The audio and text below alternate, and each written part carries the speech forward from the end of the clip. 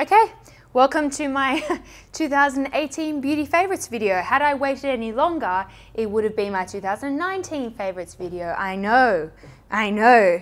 You're terrible, Muriel. I hope that you are still keen to watch this video because I think I have some real winners here. Some real holy grail products and some of them might be no-brainers, you've seen them in a trillion tutorials before, but I think there is going to be some surprises in here too. Products that I've been loving for years and I just haven't had the chance to rave about them yet? Now is the time. Let's do this. I'm going to put timestamps in the description box in case you want to fast forward to something in particular, but let's start with some skincare. This is the Dr. Spiller Fresh and Fruit Moisturizing Mask. So I ran out recently and I was without it for about a week and I freaked out and my skin freaked out and that just solidified in my mind that I cannot be without this stuff. Hopefully you can see I'm actually running out of it again. I go through this stuff like water.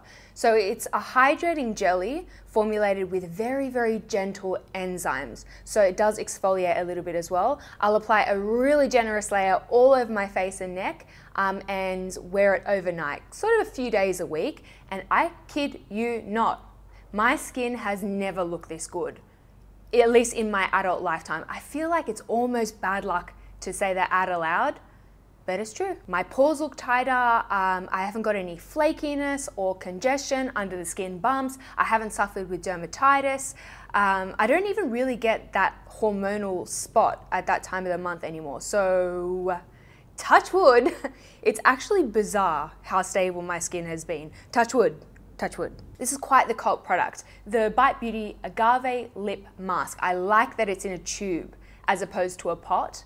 Um, it just feels that little bit more hygienic. Look, I'll be honest. I have a bit of an anxious tic where I just bite and touch my lips all day long. So they're always going to be in crap condition. I've just I've just accepted that. You know, unless I would actually address the underlying anxiety, but that could take years. So until then, Bite Beauty Agave Lip Mask, really, really good for rugged lips. You guys know I also like the Laneige Lip Sleeping Mask. They're on par. The Face Halo. This is a microfiber round thingy mabobby. Uh, and it's actually designed to remove makeup. So you dampen the, the cloth and then wipe it over your face to remove makeup. I am pretty religious with my um, micellar water, so I don't use it for that purpose. I love to use the face halo like after a personal training session when I feel really gross, uh, or if I'm if I'm wanting to remove a particularly stubborn mud mask, they're the best for that as well. Use them every week. All right, let's move on to makeup. Uh, primer. So this is one that I've spoken about a trillion times before, so I'm going to be brief. The Dermalogica Skin Perfect SPF 30 Primer. This is the SPF for people that hate sunscreen right? If you are currently religiously using a Japanese sunscreen with a PA++++ plus factor, you are covered. Um, but I bet any money that there are a ton of you out there who are not wearing SPF because it's just not cosmetically elegant. And this slots right into your routine where you would put your primer. Just make sure that you're applying it liberally and all over the face. I also like that um, the SPF is a physical blocker, it's not a chemical sunscreen, so I've never once been irritated from this product. Love it. The Charlotte Tilbury Hollywood Flawless Filter. If you recall, the marketing for this product, the marketing material was super sexy and mysterious and vague. And it's like, okay, cool, cool, cool, cool, cool, cool, cool, cool. What is it? So simply put, I think it is best described as a liquid highlight with the faintest amount of coverage, just a touch. So you can use it uh, underneath your foundation, mixed in with your foundation, over your foundation. You can use it on bare skin. It's a liquid highlight, dude. It's not rocket science. All that said, this is the most angelic, glossy, polished, smooth, glorious highlight that there is. It was love at first sight. Now I have put this into the primer category because I use it on the high points of my face before I apply my foundation and it just gives this gorgeous, glossy, you get the idea. it's good stuff. It comes in multiple shades, many shades, uh, and it never creates texture or bunches or cracks on the skin. I just can't say enough good things. Let's move on to foundations. I have here this one has a funny name. The My Armani To Go Essence In Foundation Cushion SPF 23. I've been wearing this every day for I'd say about six months, maybe even more. I've really come to appreciate and enjoy cushion foundations because they're so convenient, so convenient. This is like real life makeup. Uh, I, I, I always underestimate the amount of time that it's going to take me to get ready, and so invariably, I am always doing my makeup in the back of an Uber. This puff I think is quite special. It's angular. And so it's really easy to get into the nooks and crannies. Oftentimes I don't even apply under eye concealer. I just go underneath the eyes with this foundation. Uh, it's got a nice satin finish, nice medium coverage, middle of the road foundation. But I think the reason that this has become such a go-to for me is because the shade 4 is a decent color match. I got a decent color match without mixing you guys. This, I mean, it's a moment. Other foundations that got non-stop wear from me in 2018 were actually mentioned in previous yearly favorites. So the YSL Fusion Ink Cushion, which I mentioned in my 2017 favorites, the Hourglass Vanish Stick Foundation, which was also mentioned in my 2017 favorites video. And then also, oh, I love this stuff. I'm so sad that this brand left Australia. The makeup store Sculpt Excellence Foundation, which I mentioned in my 2016 beauty favorites video. So I'm going to link all the previous yearly favorites in the description in case you want to do a little bit of a bit of a marathon after this video. Let us talk about some eye makeup products. Um, now I have the NARS Tinted Smudge Proof Eyeshadow Base. I use the shade Light. This is the product that I've been searching for for years. It has just enough tint to mute the veininess and the redness on my eyelids, but it's not got so much coverage that it blanks out my eyelid and it doesn't look dry or crepey and it sits really beautifully under eyeshadow. Like if this is a very careful equilibrium to pin and NARS did it. There were so many eyeshadows that got me super excited in 2018. So uh, the Natasha Denona Crystal Top Coats, I adore these. I'm wearing them on the lid today, like glossy, glossy, scattered glitter goodness, love. Uh, also the Marc Jacobs Sequins, you guys, these blew my mind. I have a video um, featuring all the different shades. Uh, also, the uh, Charlotte Tilbury Stars in Your Eyes palette. I wore this for about four months straight. Uh, really golden goodness, fabulous formula. Also, the Huda Beauty uh, Obsessions palettes. They come in a whole bunch of different color stories. This purple one, every time I look at it, I just get so excited so inspired. It would be negligent of me not to mention my lash extensions because I had lash extensions for a pretty good portion of 2018. They're like my guiltiest pleasure. I want them all the time. I think nowadays you see a lot of lash extensions that are very dramatic. Uh, so very long, very uniform with a strong curl. Um, and I prefer a little bit more of a wispy lash uh, something that could potentially maybe pass off as natural. So I go to Amy Jeans, she has locations around Australia, and they do very tasteful, wispy, natural lashes. That's like their forte. Very good. Benefit? Going solo individual lashes. This is like the product that I didn't know that I needed, and now that I've discovered it, I must buy it in bulk. Just warning, my neurotic is about to show. So I've always had this, this irksome thing, whether I'm wearing individual lashes or a strip lash, there's always this region in the innermost portion of the eye where I can see a step from the natural lash to the false lash. And I've always thought that that could be better blended. And then I discovered these lashes, they they are just so short and also very, very delicate. They're the perfect blending lash. So I pop on a few in the, the innermost portion of the eye where the, the, the fake and the natural lashes meet and now it's a perfectly seamless blend. I know, I, as I say it, I know how crazy it sounds, but I take photos on a macro lens. That lens sees everything. Let's talk about brows, shall we? I have here the Holika Holika Wonder Drawing Skinny Eyebrow. Uh, and I've been using this product for years and years and I just, I feel like it needs its minute of fame. So it's a, a fine tip brow pencil. The formula is awesome, but the thing I like most about this product is the color. It's very, very ashy. I'm wearing it in my brows now. So if ever you have problems with uh, brow colors looking reddish or orangish in your brow, th there's just no chance this thing is grey AF. Also, the Benefit 24 Hour Brow Setter Clear Brow Gel. So this is not going to give you as much texture and, hold as something like soap, right? But again, I'm not going to be in the back of an Uber with my bar of soap brushing my hairs up. I feel like that's just not very practical for my lifestyle. So I pop in um, one of these bad boys into my handbag, and I would say it has probably the best hold of any traditional convenient brow gel that I've encountered. It's really good stuff. Let's move on to bronzers and blushes. So 2018, I, started seeing a pattern. I was really gravitating towards sheerer formulations. For me, it was like the sheerer, the better. So on that note, we have the Too Faced Sweetie Pie bronzer.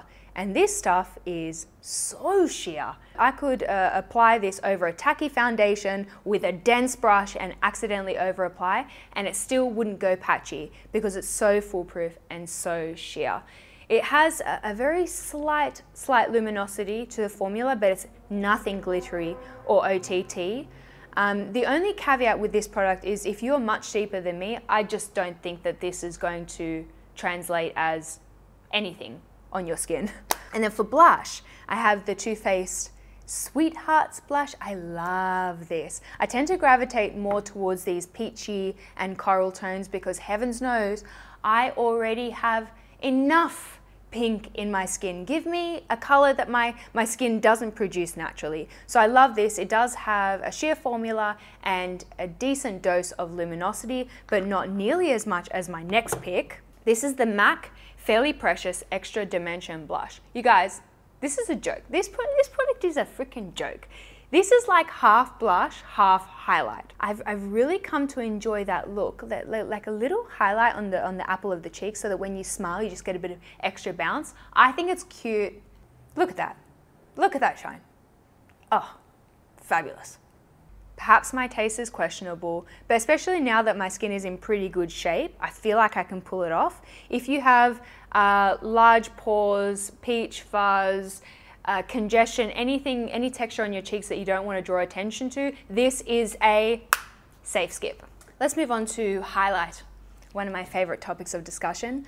Uh, first I have the Hourglass Vanish Stick highlight. So when these were first released, they, they got some mixed reviews and that really perplexes me. Uh, because to me, this is such a reliable product. I've tested it on so many people and it always looks lovely. So this is not your megawatt, see it from space kind of highlight. It's more of a satiny, sort of soft focus glow. Uh, it's got a good amount of, of silicon in it, so it really blends effortlessly and meshes into the surrounding foundation. It doesn't pick up too much on, on texture. It's a really tasteful, classy highlight. Great for daytime work, uh, if you just have subtle highlight preferences. On the other side of the spectrum, we have the Charlotte Tilbury Hollywood Beauty Light Wand. So this is your megawatt, hyper glossy, see it from space kind of highlight. From my first application, I was absolutely infatuated. I think the special thing about this, because there's so many really intense beaming highlights on the market, but the special thing about this one is even when you look closely, it's, it's not textured or frosty or glittery. It is a genuine, glossy, polished skin, gorgeous, and juicy highlight. Does this sound familiar? It's actually a very similar product to the Hollywood Flawless Filter, both from the same line. I would say that the, the Beauty Light one is, is more impactful this is like the light version. Uh, this one comes in multiple shades and this one only comes in one, um, which is kind of like a rose gold color. You don't need both unless you're crazy like me, in which case, welcome to the club. I have an everyday lip and I have a party lip. So my everyday lip combo, this combo lives in my handbag. I have Boots number seven lip liner in nude. This is um, a lighter color than most of my nude lip liners and it's also a creamier formula. So it's really great just all over the lips as though, as though it were a lipstick. And then I like to top that off with the YSL uh, Vinyl Cream in 404, which is sort of like a peachy, peachy nude color. I really enjoy the formula of these YSL uh, glosses because they never get stringy in between your mouth. That's like a pet peeve of mine. So uh, that's the combo that I throw on regardless of what I'm wearing, what eye makeup, it always goes. I know, it's a peachy nude. I'm basic like that. My less basic party lip is the iconic MAC Ruby Woo. Oh, Ruby Woo, you are divine. This is the best red lipstick ever. Especially when I had my lash extensions, I was really keen on this kind of gorgeous, glossy skin, bare eye, and matte red lip. Now I know Ruby Woo is, is super dry. This is a notoriously dry formula, but I can kind of tolerate that because if Ruby Woo were creamier, then it would transfer and smudge and get on your teeth. And Ruby Woo never does any of those things. She wouldn't dare. So yeah, I don't know, I can kind of tolerate the dry formula because it's part of the package.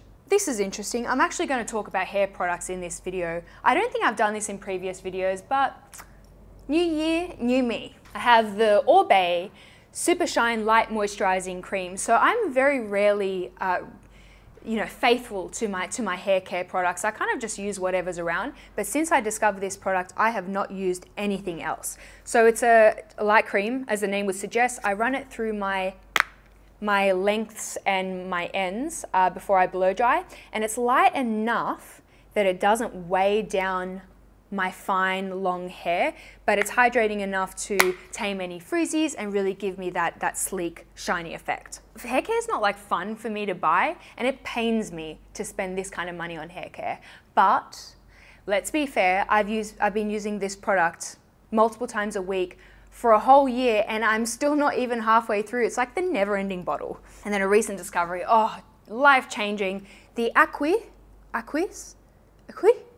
The Acqui turban. You know, those of you with really, really long manes will feel me when I say that I've got to carefully plan my hair washing days. Like if I want to go out on a Saturday night, then I've got to think, okay, I'll wash my hair on the Friday night so that has adequate time to dry. I'll give it a quick whiz with a hair dryer on the Saturday morning. I need to put this shiz in my planner, right? I couldn't just wash my hair and go out the same day. Like that's crazy talk. Or it was until I discovered um, these turbans. They cut my drying time in half and I can feel that they're so much gentler on my hair and that there's less, less breakage going on. I'm sure that a lot of brands do them, um, but these are the ones that I have. I have two different colors and they're really sturdy. The button never comes off. Everything works as it should. I love it. Really quick shout out. I know I've mentioned it before, but I have to say it again because it's my yearly favorites. Silk pillow slips. I, I was very skeptical of the silk pillow slip thing, but I can genuinely feel a difference in my skin. I don't wake up with all these like creases and lines all over my face. I can feel that it's more gentle with my hair. I am a believer. I want to quickly touch, very quickly touch on some makeup brushes. These are not necessarily new to my collection, but I have a newfound appreciation for each of these brushes. So the Rae Morris Pro Powder.